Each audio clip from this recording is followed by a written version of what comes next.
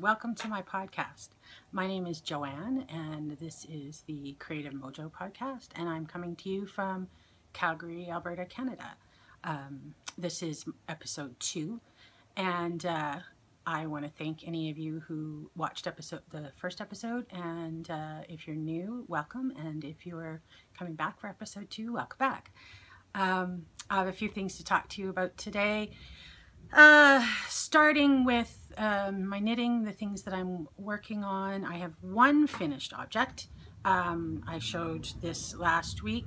Um, this is a sockhead hat um, for my nephew, Liam, that I finished this week. I was here when I showed it off last week and I pretty quickly worked it up to the end. Um, and I'm really happy with how it turned out and I think he will love it too. Um, this is out of uh, oh, um, Socks That Rock in a mill end um, from Blue Moon Fiber Arts. And uh, it's a sort of modification of the sockhead pattern that I, I do quite frequently. It's got a slightly shorter brim, uh, so it doesn't use quite as much yarn, and it's not quite as long in the in the head too. It's still pretty slouchy. So, and this is for a 10-year-old, um, so it's a little bit smaller this way as well. So that's my one finished object for this week, uh, but I've got lots of other things that I've been working on. See where to start. Uh, these are the vanilla socks that I've been working on that I've shown a couple of times. There's one sock finished. I love the color of these. And, oh, it still has its marker in it, but that one's been finished for two weeks probably. And this is how much I've got done of sock two. These travel around with me, usually in my purse, and I work on them in the car when I'm waiting places. I had a doctor's appointment this week, so, you know, in the waiting room of the doctor's appointment, stuff like that. So they're a little bit slow going, but um, but they're coming along, and uh, hopefully I will be, I'm hoping that maybe I'll have these finished for next week, so let's see. These are out of uh, Hampton Art Yarn, so it's Deep Stash um, yarn I got, I would say about five years ago maybe. And uh, so I'm sorry, but I don't have the tag anymore and I don't know the colorway, but they're very pretty. And the other socks that I have been working on this week, I last week I showed off uh, my sock drawer and I talked a lot about socks and it reminded me how much I enjoy occasionally a complicated sock pattern with a bit of challenge. So I uh, pulled out a pattern that I had been planning on working on for a while and got started on these. This is how much I have. Uh, so far that's the back of the sock. There are different charts on the, that's the front of the sock. The pattern is the Samwise socks from, um, I think the book, it's an e-book that's called The Fellowship of the Socks. And I knit the first pair in there, which is Frodo, and I showed those last week uh, when I showed all my socks, and this is the second pair in the pattern, or in the book.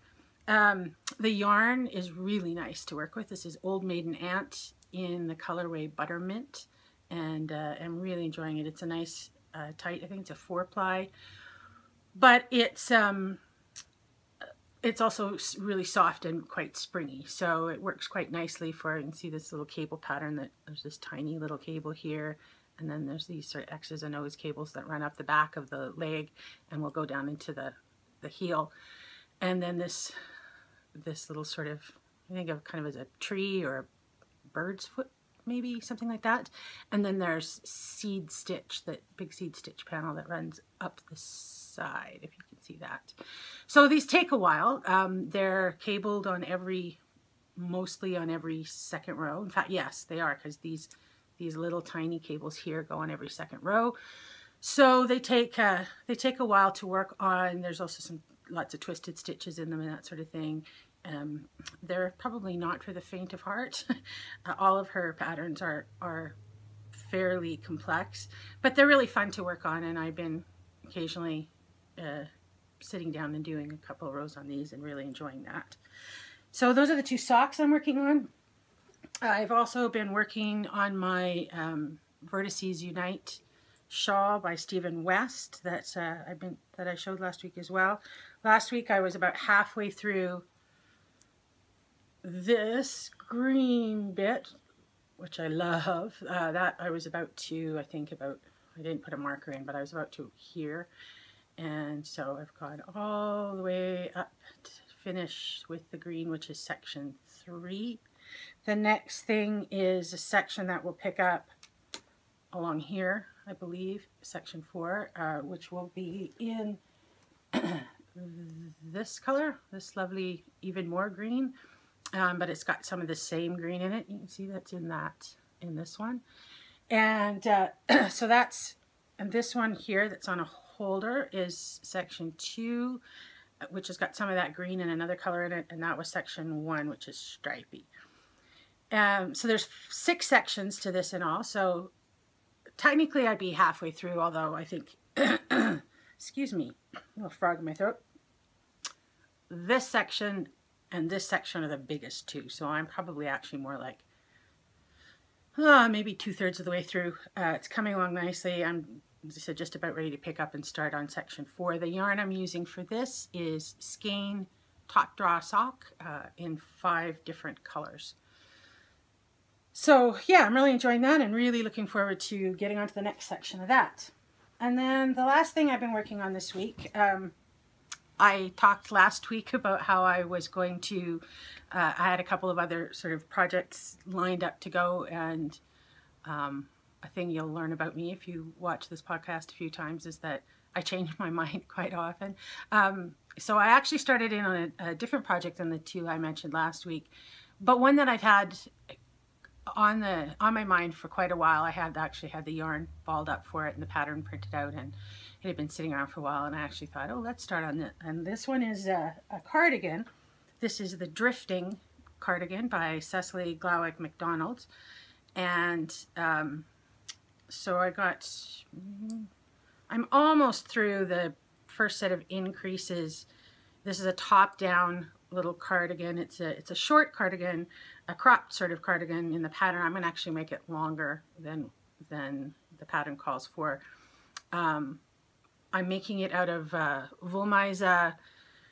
In this is the color, so pretty. Mm, it's color Indish Rot, uh, which I think is Indian red, and it's a, a, a variegated red. As you can see, it's sort of red, darker red, sort of orange and orangey kind of tones in it. Overall, sort of orangey reds.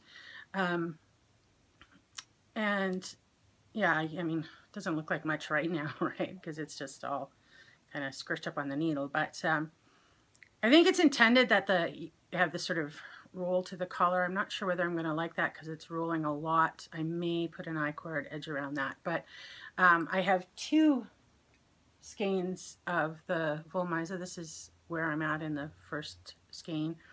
And then um, I'm going to actually stripe in in the body some black um, in some sort of alternating in different widths and stuff stripes and I'm going to use that to extend it with the two skeins that I have. So that'll be fun and I think this is going to knit up pretty fast. This is about two days worth of, of work and as I said I'm almost done with the as you increase in a raglan this is the back of the shoulder and then you pick up along the front somewhere along here. Um, to start onto the body. So that's coming along nicely. I'm enjoying, I have, uh, haven't knit with the Wollmeise in a while. I, I have a lot of it. Um, it was my kind of first ever, it was sort of my gateway drag to indie dyers and I bought a lot of it for a while, a number of years back. Um, and, uh, and a lot of it has just sat in a bin in my yarn room for a while.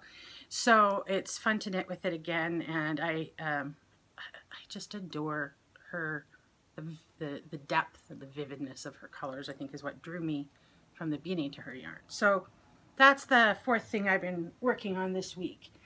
Um, the, sorry, I'm gonna, a little water here. The other thing that I wanted to um, show and talk a little bit about today was um, the other main crafting thing I do. Um, I'm predominantly uh, a knitter. I don't crochet except for the occasional single crochet thing that I have to for a pattern, but I'm not really very good at it.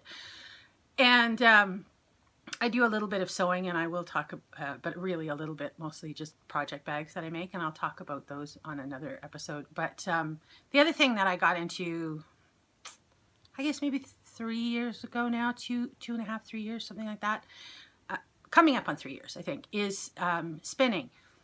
And, uh, and I'm a spindle spinner. I, uh, I'd like to have a wheel and I probably will have a wheel at some point someday.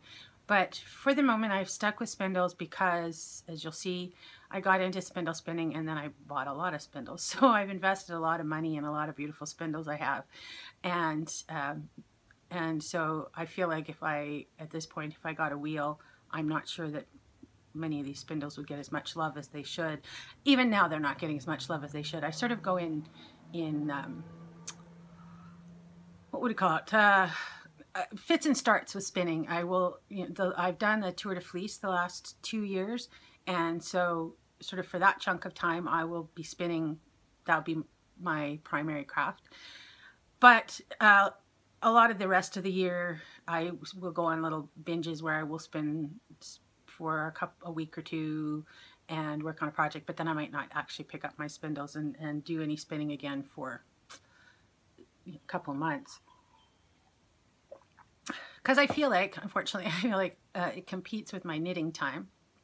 Um, and it's also, my knitting is so much more portable. Spindles theoretically are portable, but I haven't really, not in, not in quite the same way. Like I can take a vanilla sock and I can knit pretty much anywhere and I can knit on a vanilla sock at work most of the time.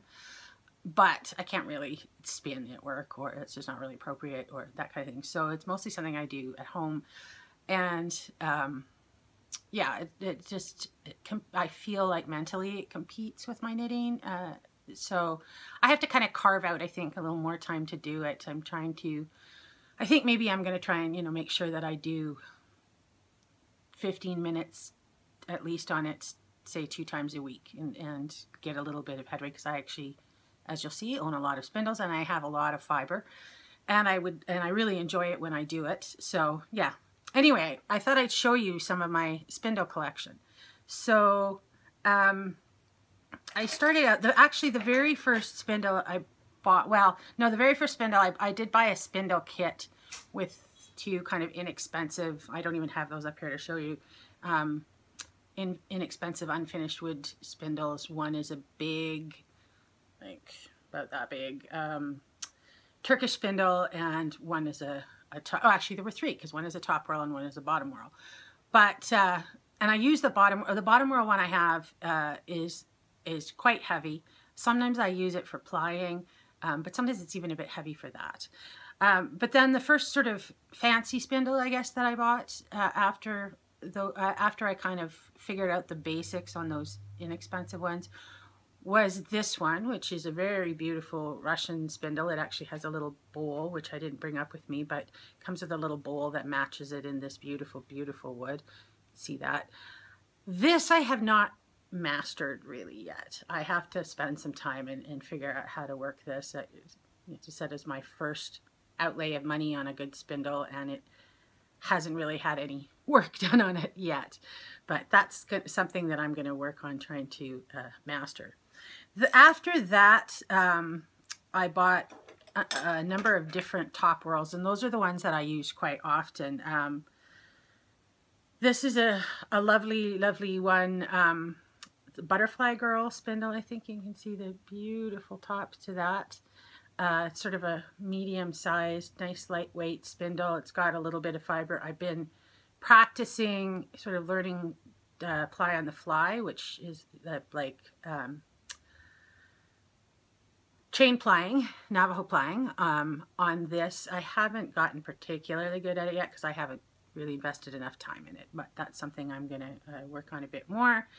Um, most of the plying that I have done so far has been two ply.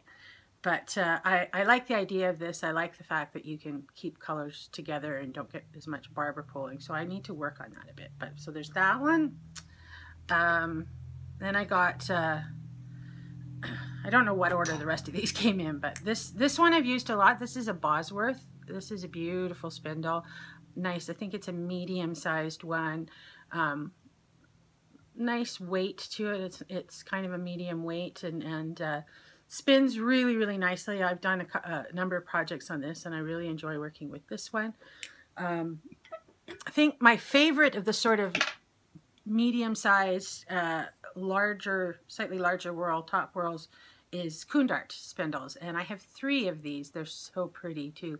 They're, that's the top of this one I love. And you can see that they're, these are a pretty good size, uh, but they're very lightweight, which I really like. So they spin like crazy.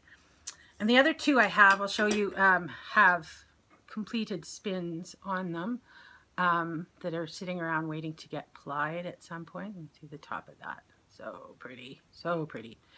These are so nice, so nice. The beautiful designs on the top of the spindles sort of are part of the pleasure for me of spinning, looking at, at this while you're working. Um, so there's that one. And then there's this one as well. These two have, uh, these two are going to be plied together. These are actually from a, a set of hobbledehoy batlings that I spun um, in, before Christmas, I guess.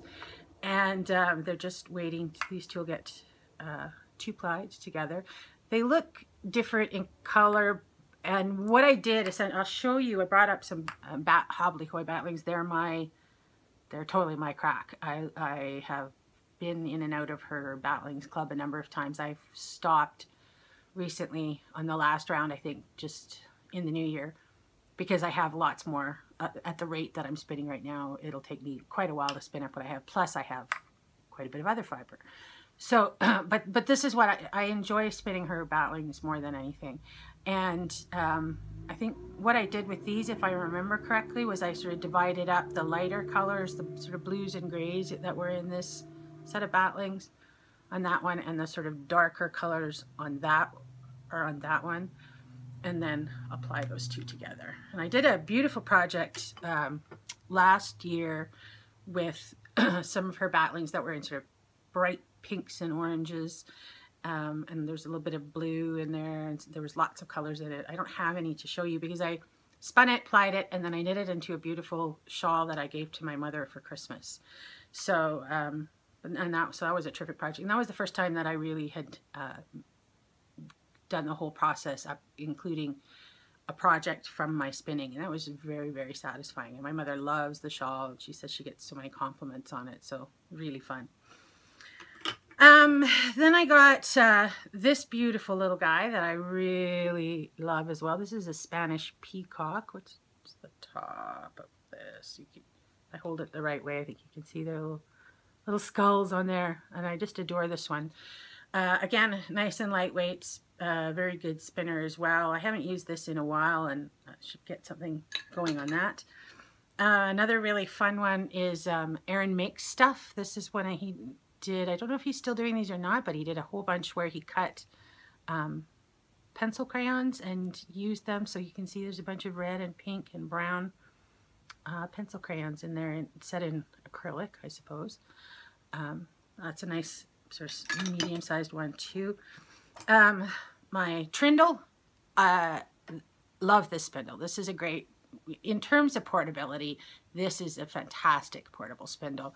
Um, the little arms come out so you can um, you can change the weight of this by heavier. I have a second set of uh, arms that are heavier and in fact I can put them on with these so that it ends up with six arms instead of the three that you can see right there and um, so that you can you can change the weight to it and this spins really fast and super lightweight uh, it's carbon so, you know, pretty indestructible. You can take those little arms off and put it in a little bag, throw it in your, your purse. You could travel with it. Um, I'm going to be doing a, quite a bit of traveling a couple of times this year, so I actually may take that with me as a nice little portable spindle. Um, this is my most recent acquisition. Again, I love this. Love this spindle. This is from Akerworks. Um, it's a laser printed whorl on it. Um, nice long shaft there. The whorl comes off. Again, this is an, and it's also a carbon fiber uh, on the stalk or the stem. I don't remember what that's called, but um, this also is nice and collapsible. You can take that whorl right off and, and pack it in a bag or whatever. This has got the spin that I'm currently working on, which is um, some beautiful fiber by Spun Right Round. I think I have some of the actual fiber here. You can see the amazing colors in this. Um, kind of see some of those other colors peeking out under that pink. I've just split this into two equal, I split the, the braid into two equal parts. This is the last part of this one and then I will do the other one and uh, apply those together. So those are that's really fun, just beautiful colors in there. And then I also have two little Turkish spindles. I haven't used these anywhere near as much as I should either. I'm not as proficient with spinning on the Turkish spindle as I am on the, the drop spindles. Um, but this is a beautiful wood one with that grain on that. It's gorgeous. This is from IST Craft in the UK. I ordered this one online in their shop and they have tons of fantastic uh, top whorl spindles and beautiful uh, Turkish spindles. And this is kind of a medium size, I would say. You can sort of see if, like, the size of it if I hold it up with my hand there. Um, and then I have a tiny little baby one. Um, I ordered this off Etsy. I can't remember I, quite a quite a while ago. It was I think think it was actually I got this and then I think I got this one maybe next. Um, this, uh, so I can't remember, unfortunately, the seller I got this one from, but it's a tiny little, see the size of my hand. It just has a tiny little bit of scrap, little bit of fiber. I think there was a little fiber sample that I just was practicing uh, on. I find this one hardest to kind of keep it keep it going for some reason. Some people seem so proficient at these. Um, and I guess like anything else, it's practice, practice, practice, right? So if I spent a whole bunch of time with this, I'm sure I would get better. But so that's my spindle collection and my um,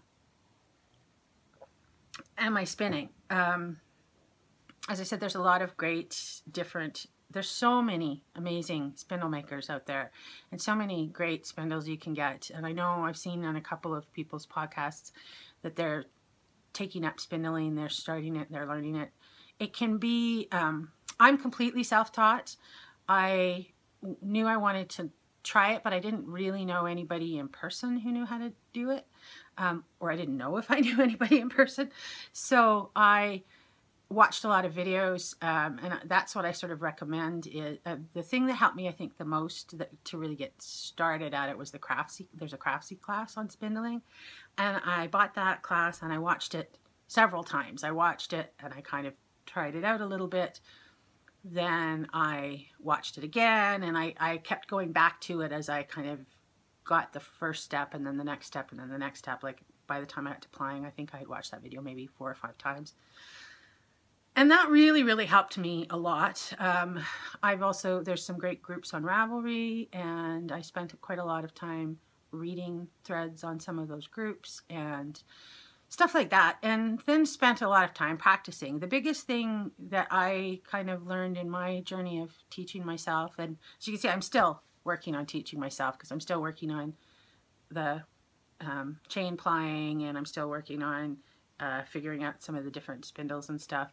Um, the biggest things that I learned were were kind of about experimenting with fiber. I think the I, it's spinning can be spindle spinning can be frustrating at first because you you drop the spindle a lot. You um, it, it's hard to get the hang of the drafting and get the yarn get the singles to a consistency you want and figuring out how to get as much twist in as you as you want without over twisting. And um, I found it actually useful to experiment with different kinds of fiber because the first fiber that I got actually was an impediment because I had two different fibers, one of which I had a heck of a time drafting. It was sort of a, a rustic I think it was just a wool. I don't, uh, yeah. And it, it wasn't drafting well for me and that was causing me a lot of uh, frustrations. And then the second fiber that I was using was lovely, but it was in Punies. Um, which are like Rolags, they're those thin roll, and I found that really, really hard to draft when I was just learning. So eventually I, I switched to, I think the first successful ones I did were things like uh, BFL, um, stuff that has a, a, bit of a longer um, fiber longer hair to it, fiber. I can't think what it's called right now, but um, helps with the drafting and pre-drafting really helps. Like usually I will take a chunk of this, pull it off. That's the wrong end. I'm working from this end, but, and then pre-draft it so that I get nice and, uh, you know, get it, get it where it's starting to want to draft itself already a bit. Uh, so yeah, my advice for people who are, are new to spinning, experiment with different fibers, find out what works for you. Sometimes getting the right fiber will sort of unlock the, the body motions of it to, because it takes a while to get that where it feels, it's like knitting, that where it feels instinctive enough that you don't have to think about every little movement of everything you do. And instead you can start to concentrate your thinking on, oh, now I'm going to focus on how how well I'm drafting this fiber because my hands can spin the spindle and do all those things kind of automatically. So yeah, that's my little um, chat about my spinning and I will try and show more spinning on the podcast as, uh, as I go along. The last thing that I kind of wanted to talk a little bit about today because what's sort of something that's been, I've been thinking a lot about podcasts in general and I've been thinking about podcasts I watch and why I watch them and a bit about why I wanted to do a podcast. And uh, and it's interesting because I think there are a lot of podcasts uh, out there, and there seem to be a whole bunch of new ones that have cropped up in the last maybe six months to a year. There's a lot of new podcasts that are sitting in the somewhere in the 10 to 15 to 20 episode range. Um, so there's so much choice of podcasts that you can watch, and uh, and I watch a lot of them. Um, I but but I do have favorites, ones that I will come back to, um, ones that are the ones, the first ones that I look forward to when they have a new episode, and uh, there's a variety of different reasons. And I thought um, it's interesting, like what I what I enjoy about it. I I don't particularly feel like I have a knitting community, much of a knitting community here where I live. There are lots of knitters, I'm sure, but I'm not, don't feel super connected to that community. Um, it has a lot to do with the job I do. Uh, I work in the arts uh, primarily. I'm primarily I'm a stage manager in professional theater, and so a lot of the time I work at nights. Um, and when I'm rehearsing a play, uh, it's six days a week, very long, very intense hours, sometimes 50, 60 hour weeks. And it just doesn't leave time in my day, particularly to go to a knit group. Um, I know there are a couple of good knit groups in the city, but I just, I feel like I, by the time I invested a few weeks in going and getting to know people, then I would have a big chunk of weeks where all of a sudden I couldn't go again for a while. and um, so, so yeah, I have, I have a couple of knitting friends here. Um, not, but I don't really have a bunch of people I knit with. And I watch podcasts often feeling like that's a way for me to people to have some people I knit with. Um, additionally, some of my some of the people I know in the knitting community and feel uh, connected to live quite a long way away. I have um, my really good friend Pat, who lives in Texas. Uh, and she and I FaceTime together quite a bit. But I met her at the Zombie Apocalypse retreat, which I went to last year and the year before. And I met a bunch of fabulous knitters there and felt like I kind of began to form a bit of a knitting community. But again, those are all people that live in, far away from me, most of them uh, in the United States. So, so podcasts are kind of a way to for me to to connect to other people knitting and it's enjoyable to me to sit and knit and watch other people talk about their knitting and I hope that's what um, that's what I can offer to people as well in terms of doing this and it's a way for me to reach out and talk about what I'm doing. I noticed an interesting thing on a bunch of these newer podcasts that that have, are coming up, which is I, I think that the primary reason why a lot of those people are are doing their podcasts are for the same reasons. They're there to reach out and to create community and to feel a part of, to feel connected uh, to a knitting community and part of a, a, larger thing and to share something that they love. And, uh, but, it, but one of the things that's interesting is I find that some of those podcasts, there's also become a thing where half the podcast is about connecting to the pod, other podcasters. And I suppose there's not. I, I'm not saying that there's anything wrong with that. Don't get me. Don't get me wrong. I think it's fantastic they're creating that community that way. But interestingly, in that desire, I think for people to to reach out and really be a part of the community, there's also an element of that that that I don't know. Maybe it's just me, but also ends up feeling exclusive in a funny way because all these people are talking about each other and all connected, and there's a lot of uh, saying hi to each other and having these kind of conversations that actually make you feel a little, make me feel, I should say, a little uh, like not part of that community. I don't know. I, I, I don't know what all of that means. It's just something I've been sort of thinking about and, and mindful about. And I, and I want to, well, I want to talk a little bit about podcasts I like and why I like them and ones I watch because I'm hoping that maybe I can steer some other people to some of those podcasts. I also want to be careful not to create that uh, environment where it becomes a little bit like there's a club that you're maybe not a part of. So anyway, I'm just putting that out there as kind of some thoughts that I've been having this week. But the a couple of the podcasts, um, two of these are ones that I've watched for quite a while, and one of them is a brand new one, and and but there are three of the ones I'm really enjoying. Um, Kristen of Skein Studio um, is the first one that I've been watching her podcast since she started because I've been buying her yarn for years and years and I absolutely adore her yarn and I adore her. She seems like a really, really lovely person. And, uh, and I feel like maybe, you know, if we lived, if I lived in Australia, I would, I would try and get to know her personally.